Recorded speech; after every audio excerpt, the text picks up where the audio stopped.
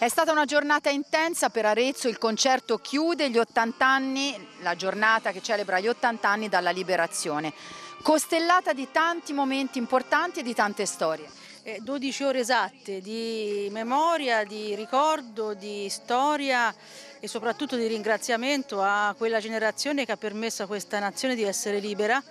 e a tutti coloro i quali hanno anche dato un tributo di sangue. 80 anni sono un tempo importante, sono anche un tempo difficile perché segna anche la presenza ormai agli sgoccioli di alcune generazioni e quindi il dovere delle generazioni future, presenti e future, di non disperdere la memoria. Arezzo, il sindaco Chinelli, ha voluto onorare, mi verrebbe da dire, questi 80 anni al meglio. Ecco, un'estate di sangue, quella del 1944, eh, che è stata ricordata proprio passo per passo. Esattamente, dalla ultima settimana di giugno fino di fatto al 16 di luglio, ogni fine settimana è punteggiato da momenti di sangue che hanno segnato da eh, Palazzo del Pero a San Severo, da ehm, la, la, strage poi quella più, più cospicua anche da un punto di vista numerico di San Polo, ma tutte sono stati momenti di sangue. Oggi abbiamo però questa Arezzo Libera che anche il nipote del carrista Gareth Scanlon ha detto è una città bellissima.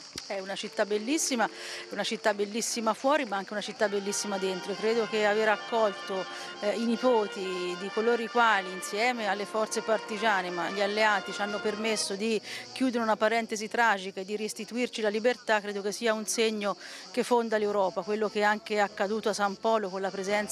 della nipote, di colui il quale si macchiò di questo fatto di, di sangue efferato è la dimostrazione che la storia dà il giudizio e che una volta che la storia ha giudicato e non può che giudicare si riparte attraverso un'idea di pace e di comunità.